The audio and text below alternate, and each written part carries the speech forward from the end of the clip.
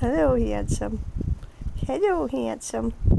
I know we just did your eardrops and you're not happy when you have those done. But you're happy when they're finished, aren't you? Yes. happy when it's all finished. It's going to help. Yes, it helps, doesn't it? So it's worth it. Get the ears cleaned out. Get some drops in there. And then just have a little visit afterwards.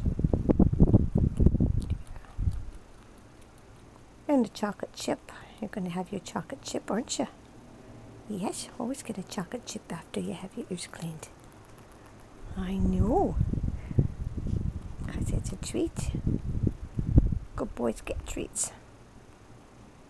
Right, my darling.